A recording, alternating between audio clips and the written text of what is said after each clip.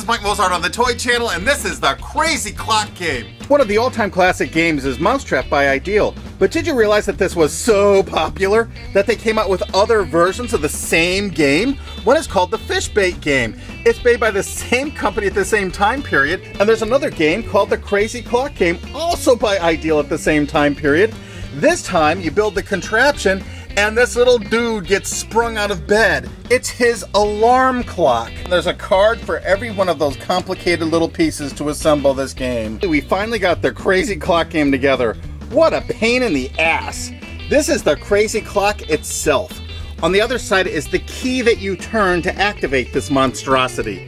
When you do that key, there's a spring inside which pulls back that hand with the hammer and rings that bell. There's a bell inside it.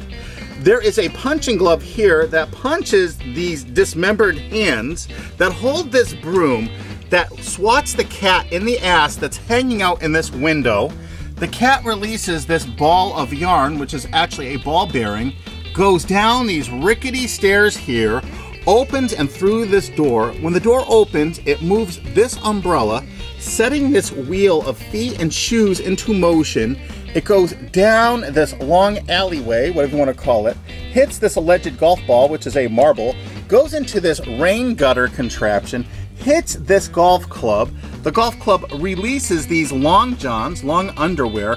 They go up this pole. They hit this bird here who gets startled. She drops her egg into that bucket. The bucket overturns into this pool table thereby going into this trough and moving this do not disturb sign all the way around there, thereby taking this candle and moving this lit candle to this guy's bare feet, thereby making him jump out of this bed. I am not kidding.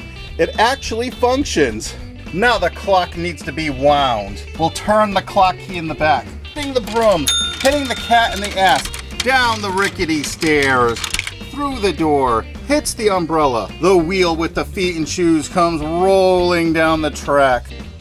Knocks over the golf ball down the gutter, hits the golf club, up above the long john, there goes the egg into the bucket across the pool table, and boom, he's out of bed.